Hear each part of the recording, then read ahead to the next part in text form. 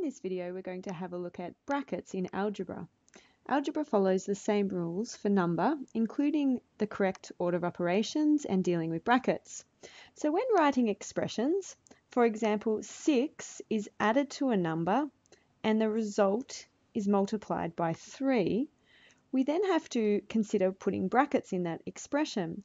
So let's let n equal the number it says 6 is added to a number, which would be 6 plus n.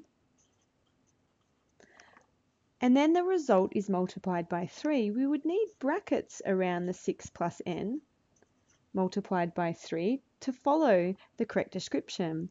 Now we wouldn't leave this as our final answer.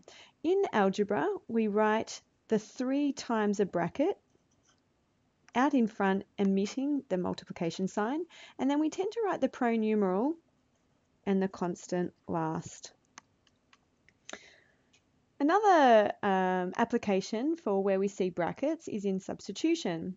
Let's say if x equals 5 and we were asked to find 2 bracket x minus 1, we have to substitute the value for x as 5 and follow the correct order of operations.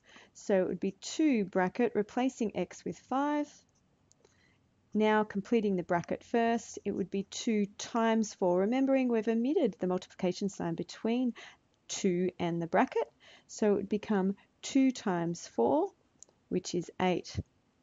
A second example, 2x all squared.